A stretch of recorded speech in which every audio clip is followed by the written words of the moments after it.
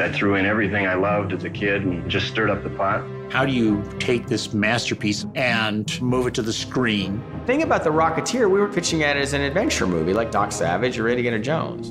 In the comic, the Jenny character was based on Bettie Page. Holy cow, now there, now you're talking. She's been my ideal female figure since I was a kid.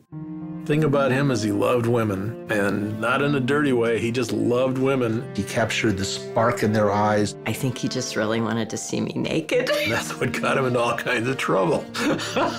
In the back of my mind, I always thought Dave wants to be a real outlaw. Good girl during the day and the naughty girl at night. Dave definitely lived his life the way he drew. Oh my God, he was a pain in the.